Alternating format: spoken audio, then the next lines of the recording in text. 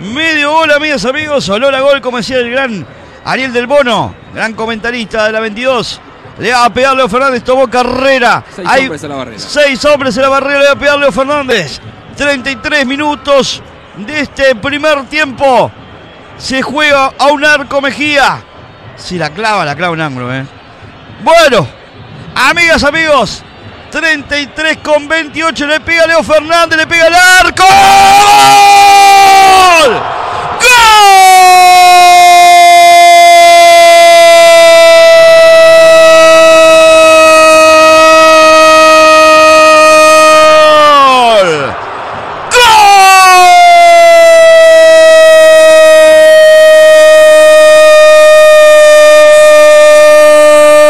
¡Golazo!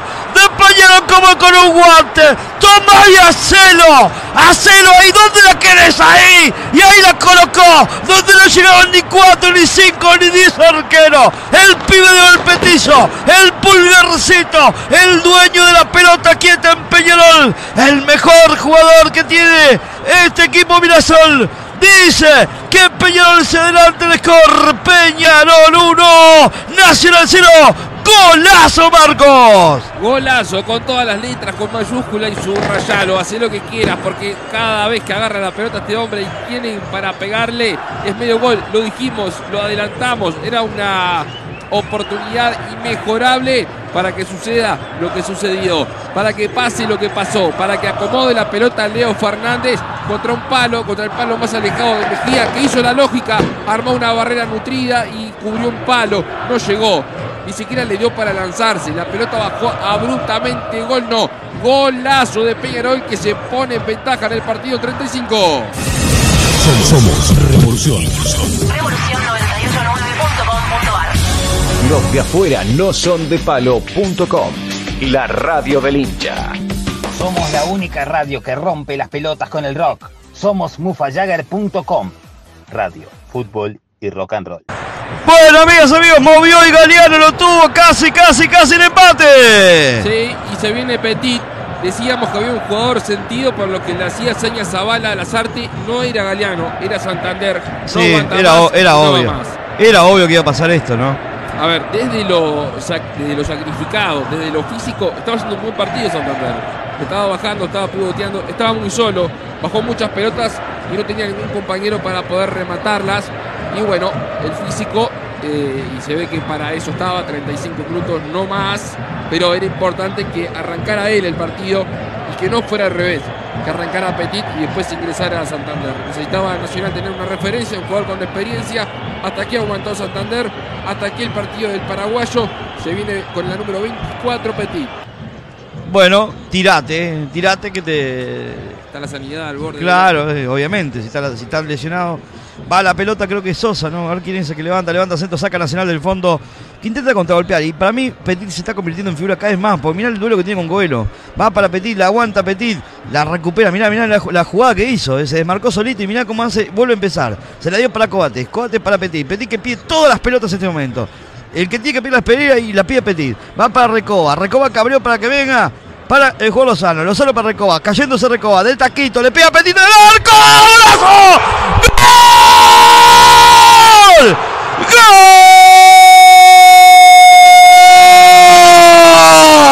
¡Gol!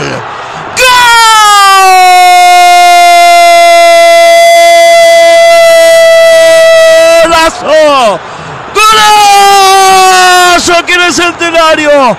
Y el más petit, petit, un golazo monumental realmente. Créanme, señoras y señores, había robado una pelota, había hecho un trabajo encomiable. La pelota la generó él. Desbordaron, la pelota rebotó de taco Mauricio Pereira hacia atrás y la clavan. Le en un ángulo. Realmente es espectacular el gol que estamos viendo para este premio, para este pibe que era figura y pico. Petit, mira con qué gol te despachaste, pibe. Colgalo en un cuadro, colgalo en un cuadro, Petit. Bueno, y el que las tenía que pedir, el que las quería todas, no estaba haciendo y no estaba cumpliendo su función. Sí lo estaba haciendo Petit, el pibe, el que había ingresado hace poco. Quería todas las pelotas, él inició la jugada, él la peleó con Coelho, él tocó hacia atrás, la fue a buscar, trianguló y llegó de frente. Nacional no estaba encontrando los caminos eh, con pelotas al centro, con pelotas de cabeza. Sí, desde afuera, con remates estaba complicando. En esta tiró a colocar nada. Pero nada que hacer para Guerre. Empata el partido nacional con justicia en 80. Somos Desde Montevideo, Uruguay, al mundo. Estás escuchando Los de afuera no son de palo.com, la radio del hincha. Así a, a- a ojo de- a- al vuelo, sin haber revisado. El que más se transpiró fue la Aguerre. No me acuerdo de otro remate que le hayan hecho a Mejía, más de un centro que salió a descolgar. Claro. Sin embargo, Aguerre es gran figura, gran partícipe. La de Zavala dentro del área que gira. Sí, sí, sí. Ese es, una, es un atajadón. O sea, viene con un envío anímico terrible. Es un arquero que es muy bueno, que tiene muy buenos reflejos, pero que además la confianza eh, lo ayuda y lo ayuda mucho. Está en el límite, ¿no? Está en esa confianza de que el hilo es muy delgado entre eh, ser un arquero con mucha confianza a ser un arquero confiado. Bueno, hablen los hombres Nacional, hablan los hombres Peñol. ¿Es merecido el empate? Es merecido el empate. Por mérito, por juego, un tiempo para cada lado. Eh, el partido obviamente se armó en el segundo tiempo, porque en el primer tiempo prácticamente tuvimos solo el tiro libre.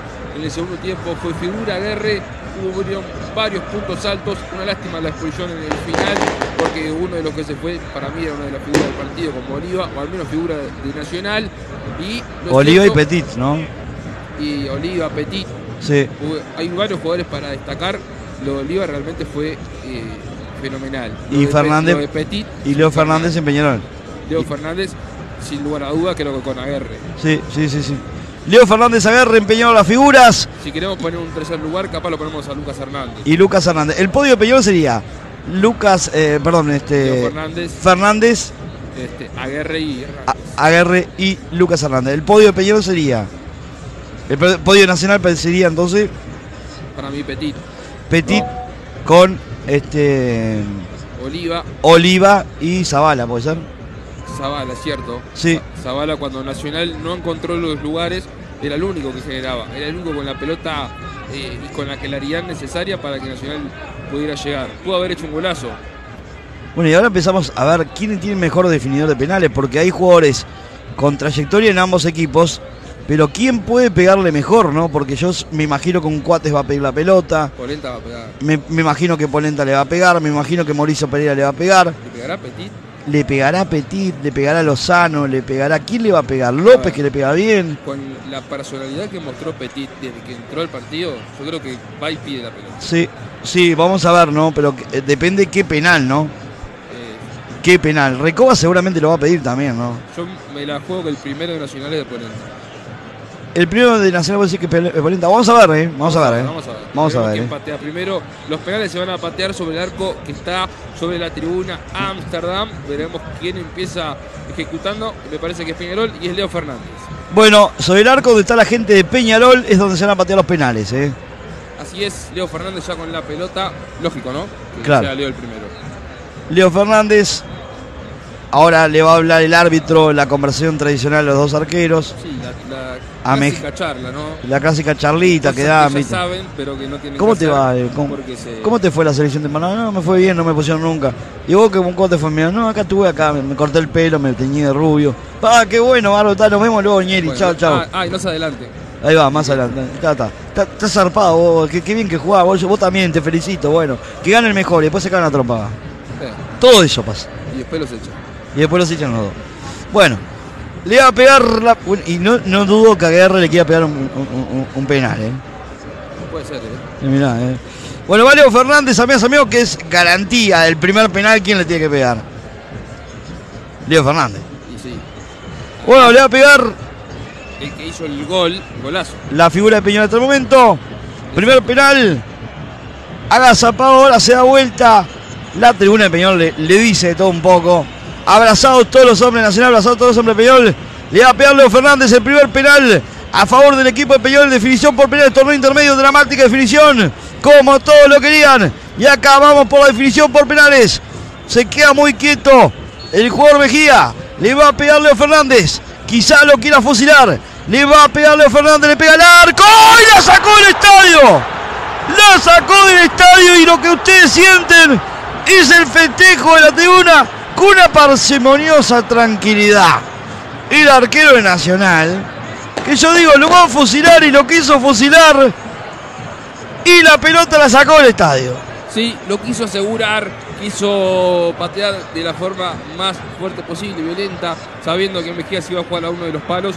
Se afirmó de más, la pelota se va por arriba del horizontal, arranca Nacional, eh, por ahora arriba, ¿no? Al menos con un penal menos, y va a patear Polenta. Y bueno, y este es otro que le puede mandar a la nube también, ¿no? La puede colgar en un ángulo como la puede mandar a la nube. Va Polenta, agazapado R que ha sido figura. Le va a pegar Polenta.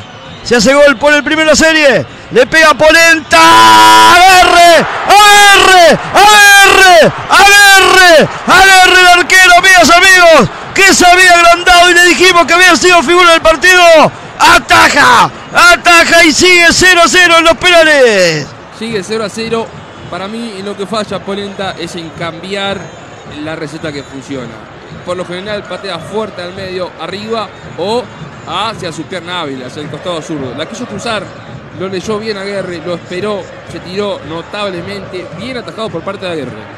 Bueno, ¿quién va? Guzmán Rodríguez, ¿no? A ver si Rodríguez le va a pegar. No veo bien que le va a pegar. Creo que Guzmán Rodríguez le va a pegar, ¿eh? No sé quién es realmente, pero no, no se ve el número, ¿eh?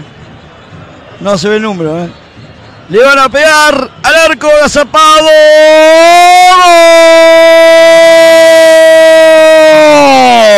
¡Gol!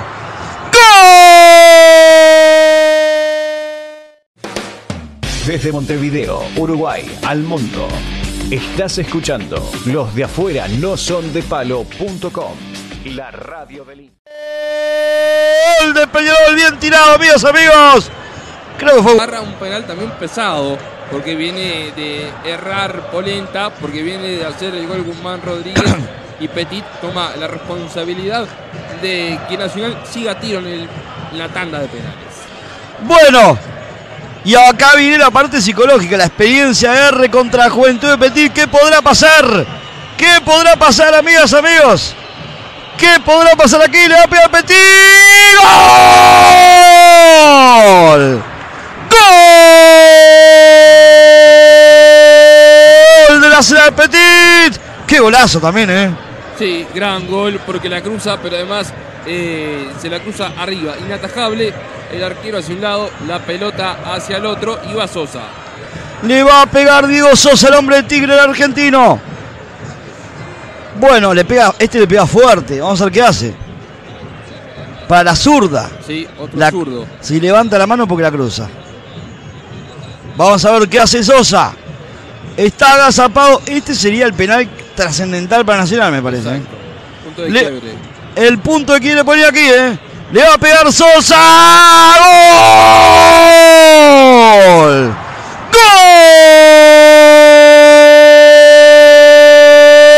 ¡Gol! De Peñarol Sosa. Viene ejecutada la pelota.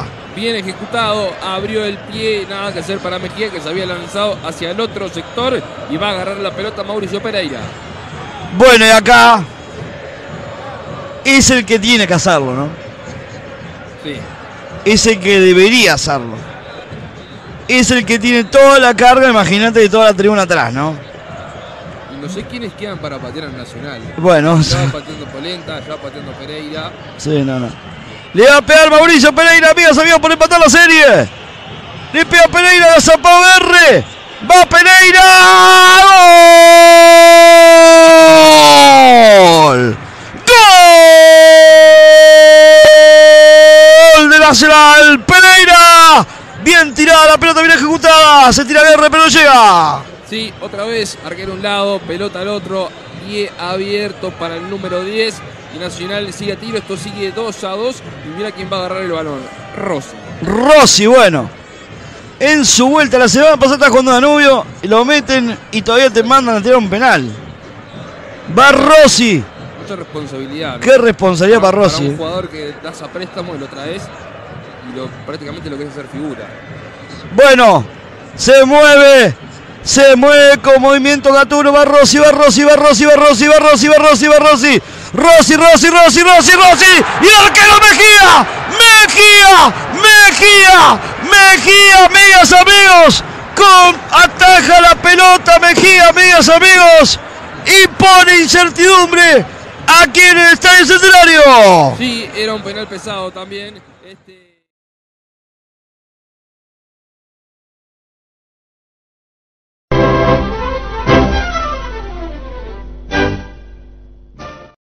Rossi, lo sabía Mejía, se movió mucho, creo que me va a ver peor. No iba con mucha potencia, que iba a media altura y ahora va Recoba. Y besa la pelota Recoba, sabe que si convierte pasa por uno nacional. Le va a pegar Recoba hasta R. Recoba. El chinito. No Recoba padre, por Dios, eh. Es Recoba hijo, el chico. El juvenil de Nacional le va a pegar Recoba. Beso la pelota hasta R. Amigas, amigos, sale el sol, le pega Recoba. ¡Gol!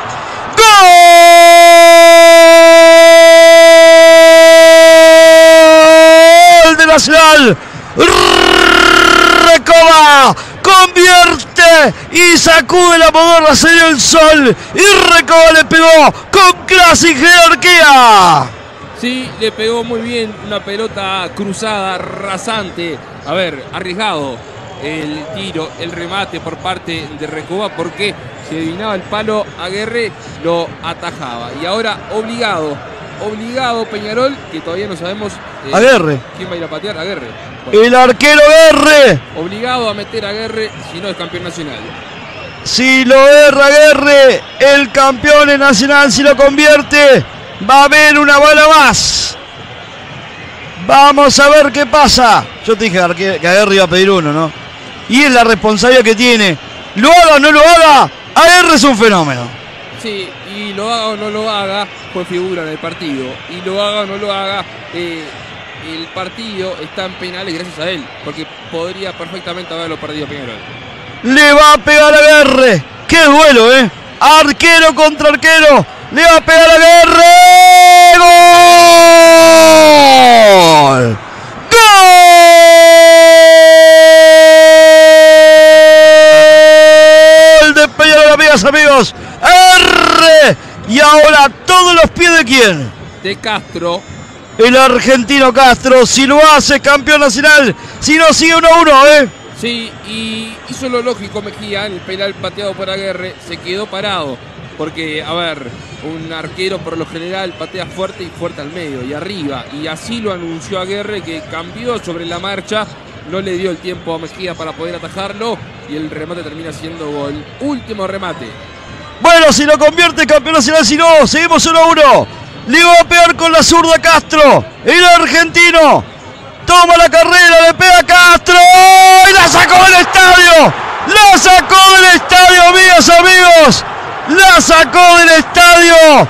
¡La sacó del estadio! Y esto sigue 3 a 3 por penales. Y la emoción y el grito de desahogo en la tribuna de Peñarol cuando la pelota se fue. Un remate parecido al de Leo Fernández. Al primero, el primero y el último, los dos se fueron afuera, los dos zurdos. Y ahora va un ex nacional, va Coelho. Va Coelho, qué morbosidad, ¿eh? Qué morbosidad Coelho con toda la connotación psicológica. Coelho contra Mejía. Mirá las señas le hace Zavala a, a Mejía, que se tira su palo izquierdo. Amigas, amigos, le va a pegar el brasileño Coelho. Está Mejía.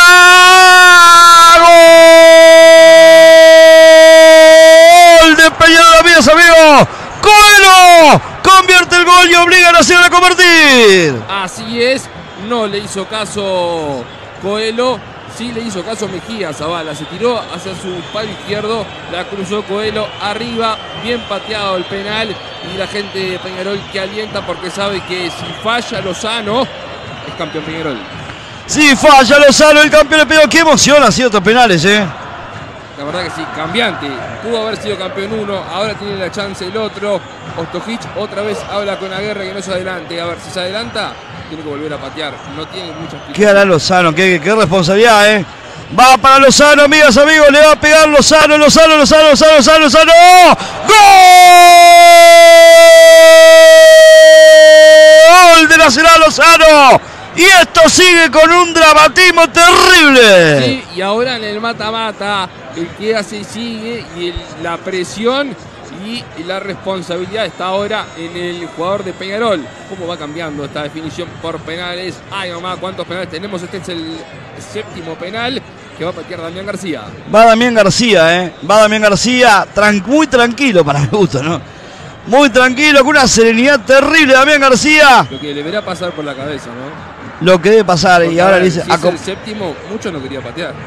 Y no, obviamente, eh, si lo vos pones como séptimo, bueno, tiene que Nacional atajar acá y convertir, o sea, es mata-mata esto, amigas, amigos, ¿no? Exactamente. El que quiere salir campeón tiene que meter. Ahí va. Va Damián García, amigas, amigos, 5-5. Si sumamos los goles más los penales, ¿no? Bueno, le va a pegar Damián García. Le pega. Gol de Peñarol Damián García. Bien tirada la pelota. Por un lado el arquero, para otro la pelota. Bien Damián García. Sí, y perfectamente pudo haber sido el primero, el segundo, el tercero, el cuarto o el quinto en ejecutar, porque lo ejecutó y lo ejecutó muy bien. Un, un remate violento que no era rasante y la cruzó. El arquero a un lado, la pelota al otro, y ahora va López. Va el juvenil López, ¿no? Qué responsabilidad también a este, ¿eh? ¿Quién queda? Bueno, no pateó Coates. Bueno, qué responsabilidad para López, ¿eh? Qué responsabilidad para López, ¿eh? Un pibe que la semana pasada está jugando en Rentista, lo llaman a jugar Nacional y ahora le ponen a patear también, A ¿eh? ver, estaba Coates, estaba Báez. Habían otros de más experiencia antes que él, ¿no? A ver, todavía no pateó, pero es, eh, es algo a remarcar, es algo que rompe los ojos que vaya López a patear este penal. Bueno, si lo ataja, es campeón mayor. Si lo hace, siguen 1-1. Le va a pegar López. Le va a pegar López, amigas, amigos. Le pega López. ¡Golazo! ¡Oh, ¡La picó! ¡Gol de Nacional! Increíble lo que acabamos de ver, ¿eh? ¡Qué frialdad, por Dios, mamita querida! Hay que picarlo en la definición por penales. No, no, no. Increíble lo que vimos.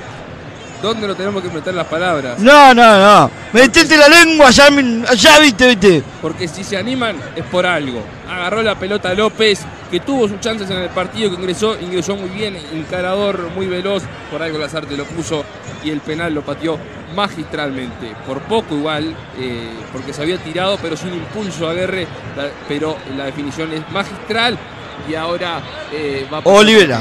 Exactamente. Va Olivera. Le va a pegar Olivera. ¡Pegó en el palo! ¡Pegó en el palo! ¡Pegó en el palo, amigas, amigos! ¡Pegó en el palo y ahora! Y ahora va Coates. Sí, así es. La- Y ahora va Coates. Bueno, el remate fuerte, muy arriba, termina pegando en el horizontal y yéndose hacia la tribuna, la pelota del capitán Aurinegro y otra vez cambia la balanza, otra vez tiene la chance nacional de salir campeón si la pelota del hijo pródigo entra en este penal. Como la palabra del hijo pródigo de Coates para volver y hacer historia. Agarre para quemarle todo. Amigas, amigos, le va a pegar Coates. Si lo hace, Nacional es campeón. Si no, seguimos. Le pega Coates. Y atacó R. Y atacó R. Y atacó R. Y atacó el arquero de Peñarol. Y sigue, sigue, sigue esto. Bueno, y parece que no quiere salir campeón. Nadie quiere el- el- la final del torneo intermedio. Pareciera. Tiene una moneda, muchacho. Y sí, ¿no? Porque va a terminar pateando otra vez eh, Leo Fernández en cualquier momento. La pelota de Coates que la cruzó, eh, el remate iba esquinado, tan esquinado que entre Aguerre y el horizontal y el vertical, perdón, derecho, terminan sacando esta pelota. Y ahora estamos otra vez como al principio. Iba Méndez, ¿no? Exactamente, Este lo va- le va a romper el arco, Méndez. ¿eh?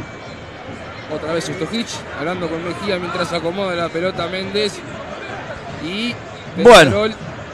Que eh, tiene otra vez la chance de ponerse arriba. Y ahora aliente la gente Peñola Méndez. Va Méndez, está Mejía. Amigas, amigos.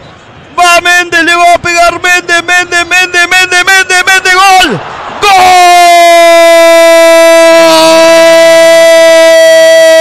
Gol de Peñarol, amigas, amigos. Y obliga a convertir a Nacional. Y ahora, luego de este penal, bien pateado, otra vez, cruzado pero con potencia. Cruzado pero a media altura donde Mejía no podía llegar, hace que Nacional tenga que marcar. Y quien va a ir a patear, quien va a buscar esta pelota es Báez. Y va el argentino paraguayo Báez. Que no lo tengo pateando penales, te soy sincero. Le va a pegar Báez. Pateó en algún clásico de verano, pero no, tampoco es. No es ejecutante, ¿no? Bueno, y acá puede definirse todo. Si lo erra Báez, es campeón Peñarol. Si lo hace, siguen 1 a 1. Va Báez, amigos, amigos. Le pega Báez. ¡Gol! ¡Gol! De Nacional con suspenso. La pelota se tiraba bien el arquero, pero con suspenso entró. Realmente picó como una, como una especie de. No sé cómo decirlo. Pero fue picando la pelota y convierte. ¿Y ahora quién va? Mayada. Mayada. Bueno, el remate arriesgadísimo, muy arriesgado por parte de Baez, que la cruza, pero prácticamente sin potencia. Me parece que lo que le juega en contra a Aguerre es que se había decidido al otro sector, a su palo derecho, y cuando quiso volver no le dio la pierna para impulsarse, quedó muy cerquita. Le va a pegar Mayada. Concentrado Mayada, concentrado Mejía. Le pega Mayada. ¡Gol! ¡Gol! De Peñarol Mayada. Bien colocada arriba. Amigas, amigos, esto es dramático, ¿eh? Y va Mejía, antes el penal de Mayada, arriba. Obviamente, No queda otro. No queda otro, es el último penal y si erra es campeón Peñarol. Si lo hace, vuelve a arrancar la roja. Bueno, increíble, ¿no? Que Mejía que no lo tengo tirando penales tampoco, ¿eh? No, no, yo tampoco. Seguramente sea el primer penal. Le va a pegar Mejía, le pega Mejía, dice el árbitro que no, que aguante, que aguante, que aguante. ¿Por qué no, no, no puede? Están revisando algo, ¿no? Lo manda a guerra en la línea. Bueno, le va a pegar Mejía, amigas, amigos, le pega Mejía, Mejía, Mejía, Mejía, Mejía. ¡Gol!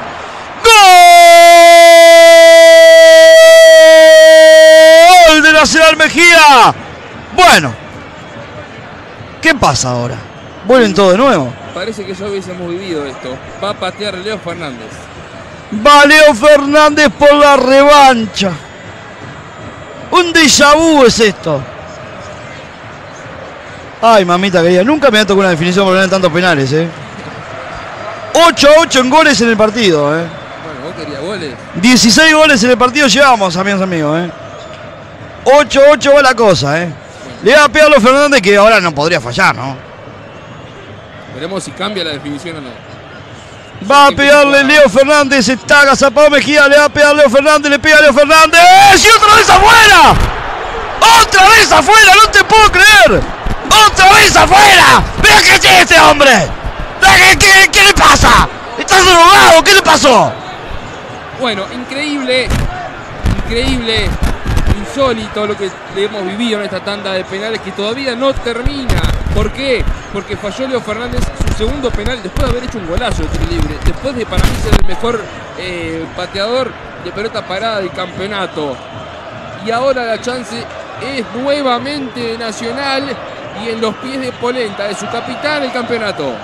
Le va a pegar Polenta, Polenta, Polenta. ¡Gol! ¡Gol! ¡Gol!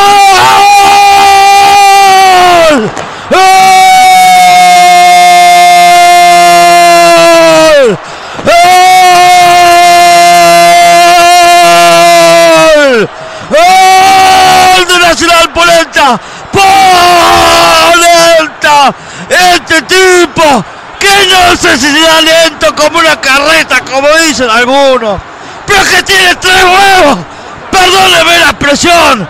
Cuando hay que meterla la mete. Entre Mejía, que salvó Y entre Polenta que la metió. Otra vez esta película la vuelvo a ver. Nacional campeón. Con Polenta. El patrón. No sé si el patrón del mal. El patrón de gol. Bueno, y como vos decías, cuando las papas queman, cuando hay que agarrar pelotas que pesan 100 kilos, pelotas que nadie quiere patear, pelotas que nadie se anima, que nadie tiene eh, las agallas, la responsabilidad es toda y exclusivamente el capitán. Capitán con todas las letras. El capitán número 23 con varios goles de penales, con varios goles en partidos clásicos. Otra vez y pateando su segundo penal en la tanda en la ronda definitoria para definir quién es el campeón del torneo intermedio. Vuelve a pedir la pelota, vuelve a patear con mucha solvencia, con mucha tranquilidad, porque pateador de penales importantes en Nacional si los hay. Diego Polenta dice que Nacional es nuevamente campeón del torneo intermedio. ¿Y sabés cómo terminó el partido? 9 a 8. 9 a 8. Qué locura, por Dios. eh. Qué locura. Y que oiga la vida de la gente de Nacional, ¿no?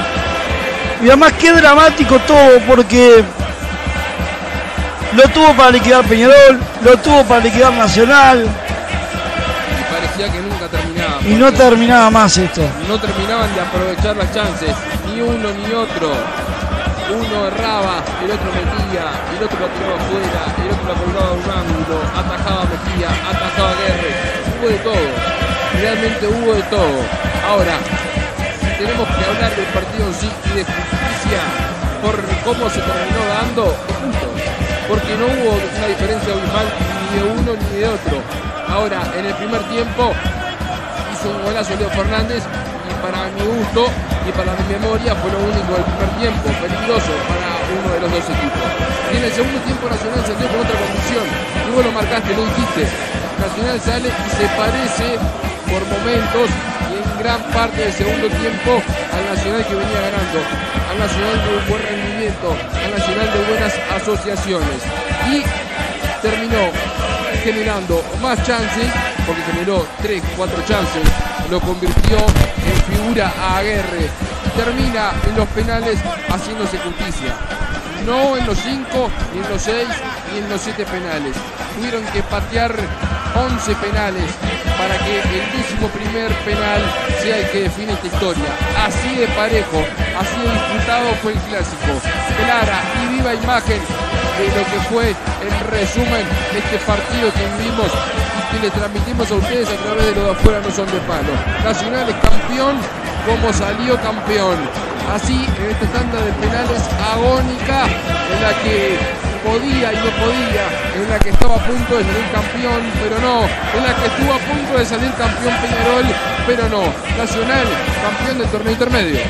Y estamos mostrando la gente que está en YouTube de la Tribuna Nacional y no puedo mostrar más porque los derechos de televisión no nos permiten, ¿no? Pero bueno, hicimos un paneo para que la gente viera.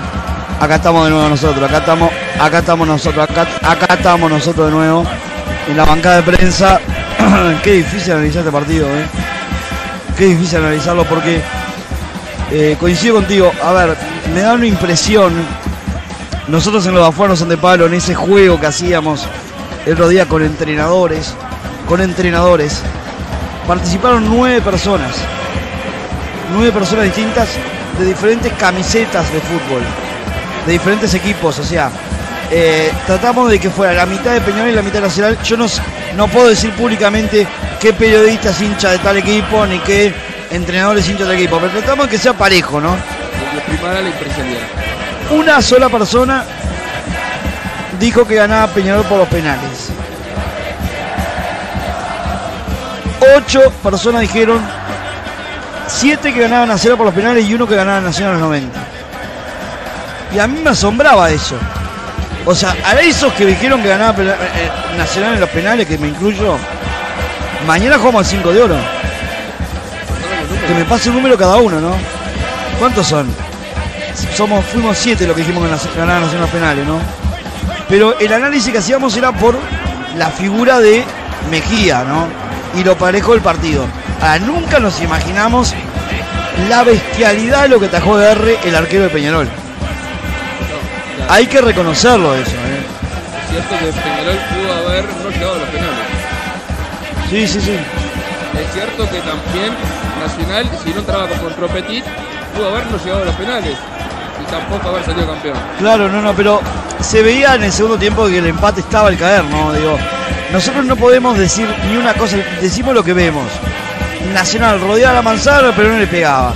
Un centro, la pelota, un taco, para que venga Petit atrás y hizo un golazo que el golazo subía.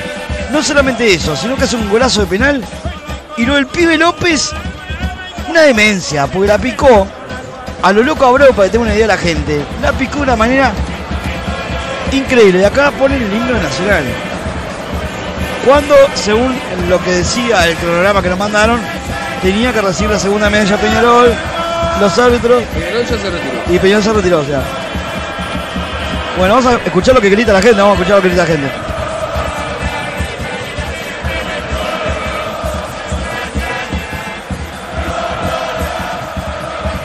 Bueno, es impresionante la ovación del público eh, tricolor, ¿no? Este, la gente, bueno, hay que decir que la gente de Peñarol se está retirando muy respetuosamente también. ¿eh? Sí, los jugadores ya se retiraron. eh, todo el cuerpo técnico vestuarios. Eh, queda lógicamente el equipo ganador en los festejos, su legítimo festejo junto con Sucham, que se prepara toda la coronación para entregarle la copa del territorio. Bueno, tenemos el himno de fondo, pero vamos a sacar el himno de fondo de Nacional porque así que escuchamos a la gente, que es lo más importante, ¿no? Lo más importante, la gente. Eh, bueno, felicitar a la gente de, de Nacional, pero también a Peñarol porque hicieron un lindo partido. Nos regalaron un clásico que parecía chato en el primer tiempo y el segundo tiempo se dio vuelta la chatura y empezó a jugarse bien. El gol, creo que el gol de Peñarol abrió el partido porque abrió a que Nacional tuviera que arriesgar y que Peñarol eh, también tuviera chance de contragolpear. Sí, Peñarol obligó a que Nacional tenga que sacudirse, tenga que despertarse y salir al segundo tiempo como lo, como lo hizo. Porque en varios momentos quedó mano a mano y lo marcamos en el partido. Había momentos en los que Peñarol tenía mucho espacio de contra. Eh, el planteamiento de Aguirre fue bueno. Los cambios fueron hombre por hombre también para refrescar y buscar ese posible gol de la tranquilidad cuando Peñarol estaba ganando 1 a 0. Es decir, a veces eh, hay cosas que uno no puede manejar, pienso yo, poniéndome en el lugar de Aguirre, como entrenador también desde otra forma, en los que lo que tenía que hacer Peñarol lo hizo. No es que lo termina perdiendo desde el planteamiento ni desde los cambios. Llegó a la definición por penales, luego de que Aguirre le haya salvado de